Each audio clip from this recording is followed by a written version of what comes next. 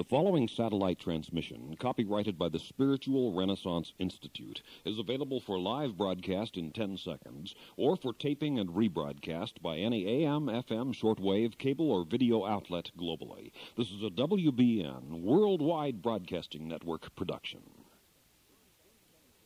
This is Vern Bennom Grimsley with the Spiritual Renaissance broadcast. My old grandfather, Mose Neal, back in Kansas, was a sportsman, competition trap and skeet shooter and fisherman, mayor of his town, and a student of Indian lore and many other things. But also he was an artist. And as a little boy, I loved to sit in his studio at Emporia, Kansas, and watch him work with his various brushes, large and small, and I delighted in the aromas of the oil paints he mixed and blended, then began to dab and stroke onto the canvas stretched on its wooden frame. Sometimes when he first began a picture, I had no idea what it would be. He would draw a few lines with pencil to lay out the perspective and essential elements of a scene, then begin to fill in his sketch with colors blue gray for the skies, white clouds, green trees, granite gray mountain peaks, and perhaps an azure lake or stream. But the process took many days, and sometimes along the way, it didn't look very artistic. It didn't look like much of anything. Different patches of colors here and there with pencil scribblings on canvas in between. But it wasn't finished yet. And perhaps two or three weeks later, when the work was completed, there on the easel stood a simple but compelling work of art, usually a nature study, which to me was a thing of genuine beauty. I have in my den one of his paintings of ducks in flight over a pond, and I have enjoyed it since boyhood, and I cherish it still today. But I remember when he was painting it. For a while I didn't know how it would turn out, or if it would turn out, but it wasn't finished yet. And here is the vitally important point. Neither are you. The master artist of the universe of universes, the living God, is not through with you yet. So don't judge your life by its sketchy incompleteness, its dribblings or spatterings here and there. You are not finished yet. But when you place your life in the hands of the living God, you may be assured that something of beauty will, in time, be the result. But at many times along the way, you may despair that anything of value will come of it. But be patient. Trust God. Relax, because God is not through with you yet. And in the end, the concept of the master artist of the universe will emerge in real beauty, and you will learn what he had in mind all along. It will take time, but it will be worth it, because God loves you and wants to make of your life a joyous and loving masterwork of faith and happiness and meaningful service to God and humanity. At times along the way, it may not seem that much of permanent value is transpiring, but maintain your confidence in God, and you may be assured that all will culminate in a good and glorious conclusion. Trust God to have an overview of the purpose of your life on earth, superseding anything which might so much as ever have entered your mind. God's ways are not man's ways, and God's thoughts are higher than man's thinking. God has a good will for you, which will emerge in time to disclose a perspective far transcending anything you might have imagined. Remember that with God, all things are possible.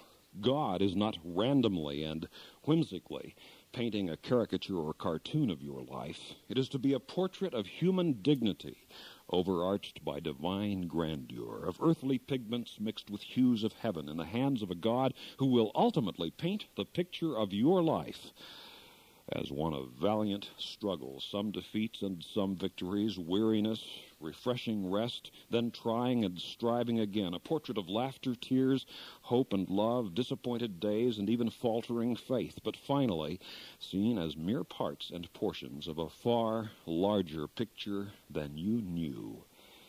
The living portrait of you as the living son or daughter of God you really are and have been destined in the mind of God to become because God loves you. God cares about you. And there is a bigger picture for your life than you may see or know at any given moment. God's will for you spans not only the days and decades of your life here on this earth, but the endless eons of eternity as well. You are part of a bigger picture than you know, in the hands of the master artist of the starry galaxies and whose plans and purposes for you are good, wholly, totally, and unreservedly good. God will bring goodness in your life because God loves you as a father loves a child. And if you will faithfully trust God, He will work His will in your life, and yours will be a portrait for time and for eternity of the beloved and valuable son or daughter of God you really are and have always longed to be. This is thrilling, and further realize God has things for you to do. Out here at the Horseshoe Ranch, we have wild raspberries growing along the fences. They're delicious to eat when they're ripe, but if you pick them prematurely, they're sour and bitter to the taste. Many plans and projects of human life are such as that, thoroughly unpalatable until their time is ripe. Yet in active cooperation with the Supreme, the Spirit of God within your mind can adjust your thoughts and your thinking so that you will be able to discern the signs of the times in your life and prepare and ready yourself for the new tasks and ventures which God has in the future for you. That is precisely what you are doing when you pray to find and know the purposes of God. When you pray, Thy kingdom come, Thy will be done, you are seeking to align and synchronize your mind and will with the mind and will of God but ever mindful of the truth that some answers to that prayer can only come in God's good time. God's delay is not God's denial. Every little boy or girl reared in the country or around fruit fields and orchards quickly learns not to eat green fruit. It isn't ready yet. And just as different fruits may mature at different times of the season, you will find that different projects and possibilities ripen at different times in your life. Hence, the vital necessity of developing your discernment. God has things for you to do with your life, but some of the things you may aspire to achieve may not be ready yet for the undertaking. Every day and every year of your life, look about you for the things that are ready to be done, and you are ready to undertake, assuming that they're good and worthy projects at the outset. But ask of any proposed task, is it part of the will of God for you? Is it part of the divine master plan for your life? Does it advance the cause of the spiritual renaissance within your life and upon this earth? Does it bring greater goodness, truth, and beauty to your life and that of those about you? And is it a project that is ripe and ready for action now? Some of these things you learn by personal experience, but there is definite guidance available within your mind for the making of those decisions. It is sometimes called the still small voice within, or the Spirit of God speaking to the soul, or the divine illumination of the mind. It is written in Proverbs that the Spirit in man is the lamp of the Lord, searching all the inmost parts. And said, Jesus, the kingdom of God is within you. This guidance and direction for your life is real. If you will attune your mind to it, you will learn of it as you face the choices of human life day by day, you will feel God giving added weight to the best alternatives which you should choose. It is as though the very circuits of spiritual gravity make one decision or the other, the more weighty alternative, the one which you ought to choose in the given situation. But be ever mindful that God does have a will for your life.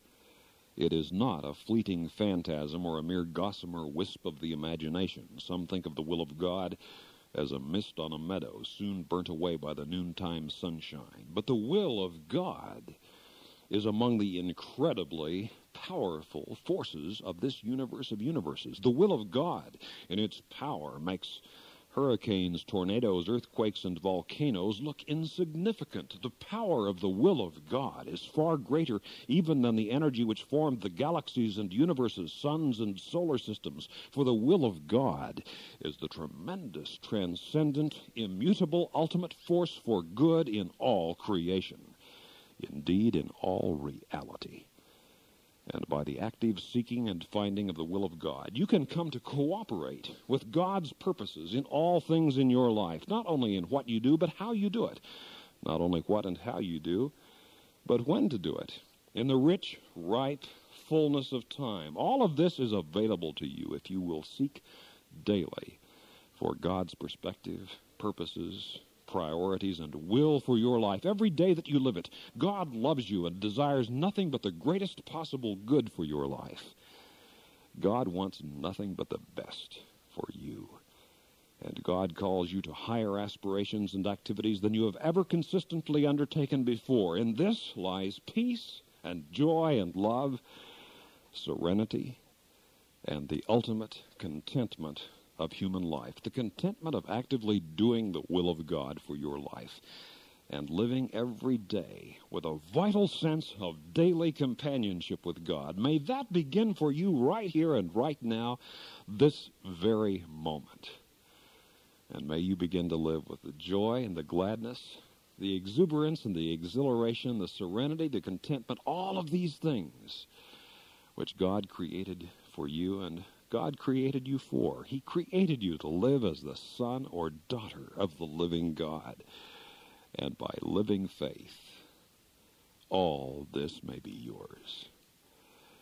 For free literature on the spiritual life, things I've written on these very topics about finding God, getting to know God, growing spiritually. Those are some of the chapter titles in a book titled Growing Spiritually. Yours, no cost, charge, or obligation when you write to us at the Spiritual Renaissance Institute, Post Office Box 3080, Oakhurst, California 93644, United States of America. That's the Spiritual Renaissance Institute or abbreviated SRI, Post Office Box 3080, Oakhurst, California 93644 USA. For those of you listening in other countries around the world over our international satellite and shortwave network, let me spell the mailing address. Post Office Box 3080, Oakhurst, O-A-K-H-U-R-S-T, California, C-A-L-I-F-O-R-N-I-A 93644, USA.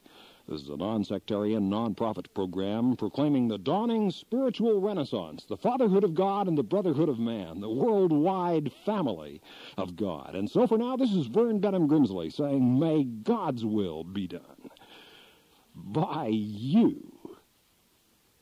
Good day.